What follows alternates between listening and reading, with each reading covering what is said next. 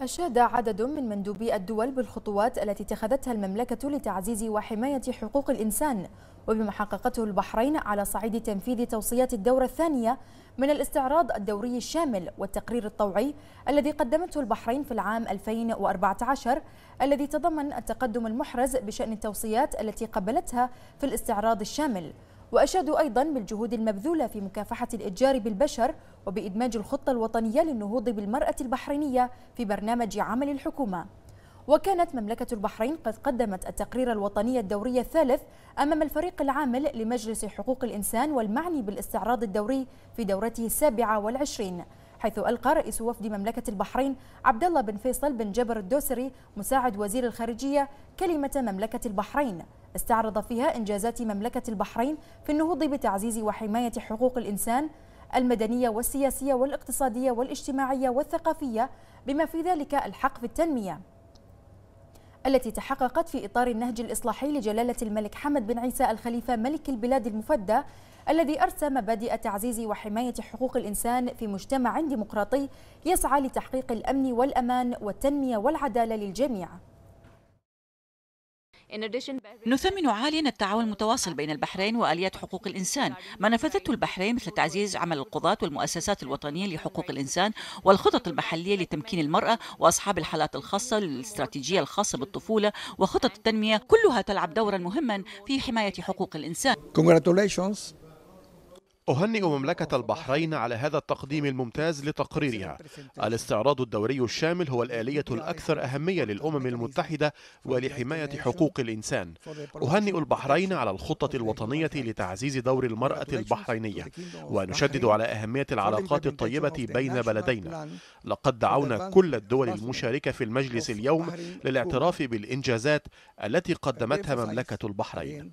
Steps taken in this area as well as information provided الخطوات التي اتخذتها البحرين للتعامل مع العمالة الأجنبية هي خطوات إيجابية ونأمل أن تستمر البحرين على نهجها في التعامل مع العمال الأجانب وبشكل خاص العاملات المهاجرات.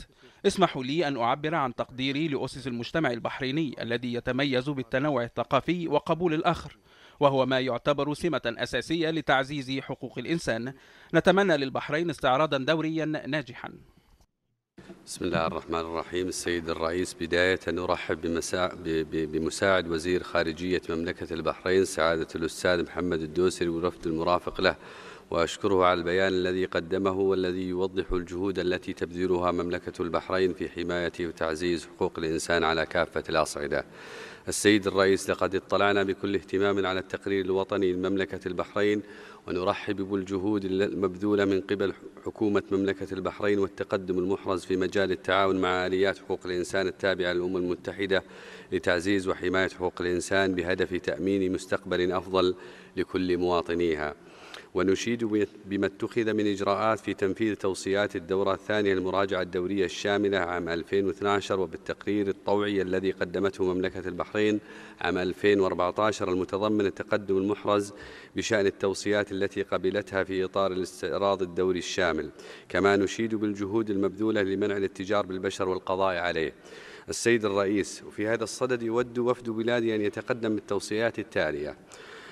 واحد مواصلة التعاون مع آليات حقوق الإنسان التابعة للأمم المتحدة من أجل حماية وتعزيز هذه الحقوق. اثنين مواصلة الجهود وبذل المزيد من أجل منع الاتجار بالبشر والقضاء عليه.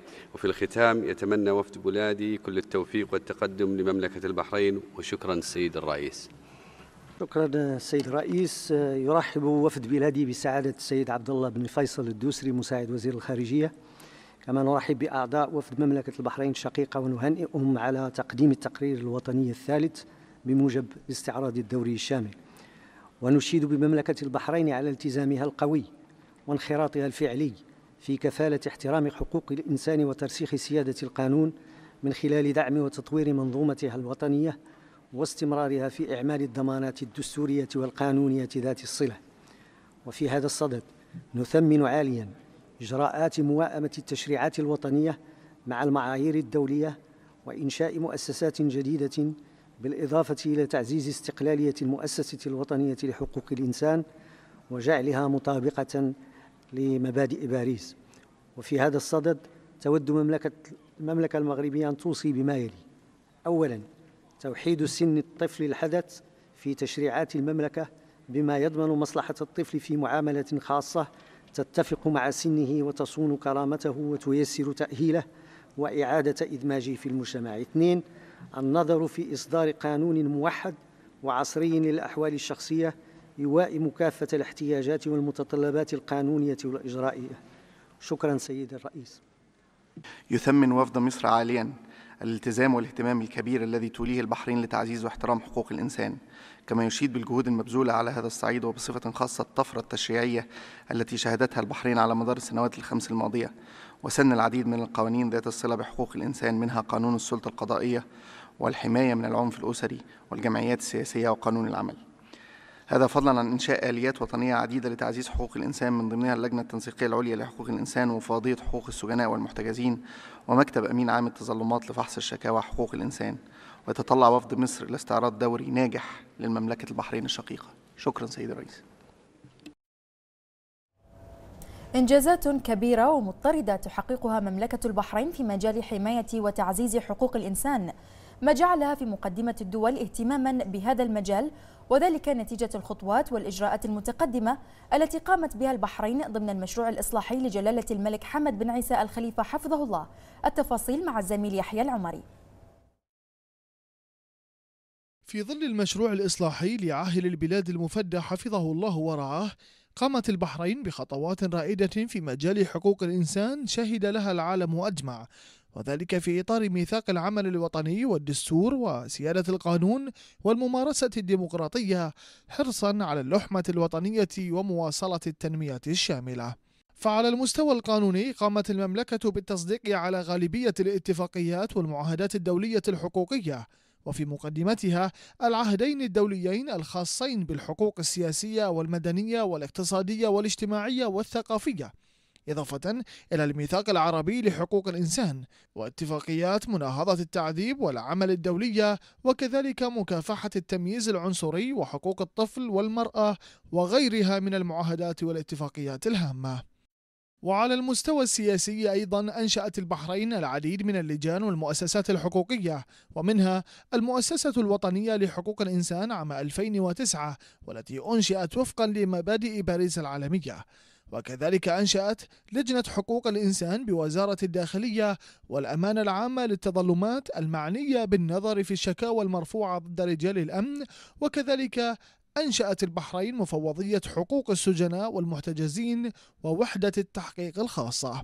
وشكلت البحرين كذلك لجنتي حقوق الإنسان في مجلسي النواب والشورى. وأيضا قامت بتأسيس جمعيات تعنى بحقوق الإنسان وقد ازداد عددها ودورها.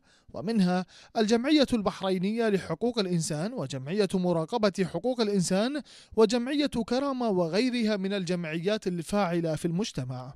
وفي مجال ممارسة العمل السياسي صدر القانون رقم 24 لسنة 2002 بشأن الجمعيات السياسية والذي جاء في مادته الأولى للمواطنين رجالا ونساء حق تكوين الجمعيات السياسية ولكل منهم الحق في الانضمام لأي منها. وقد تم تشكيل 21 جمعية سياسية تمارس عملها بدون معوقات هذا فضلا عن ممارسة حقي الانتخاب والترشح بشكل منتظم خلال الانتخابات التي شهدتها المملكة طوال العقد والنصف الماضيين. ومن جانب موازن تكفل قوانين مملكة البحرين الحق في التجمع السلمي بموجب القانون الذي ينظم إقامة التجمعات والمسيرات السلمية. فقد تم توفير العديد من الآليات والقنوات الشرعية للتعبير السلمي عن الحريات والحقوق. ويكفي الإشارة إلى أن المملكة سمحت بتنظيم نحو 1589 اعتصاما ومسيرة وذلك منذ عام 2001 منها 355 خلال عامي 2012-2013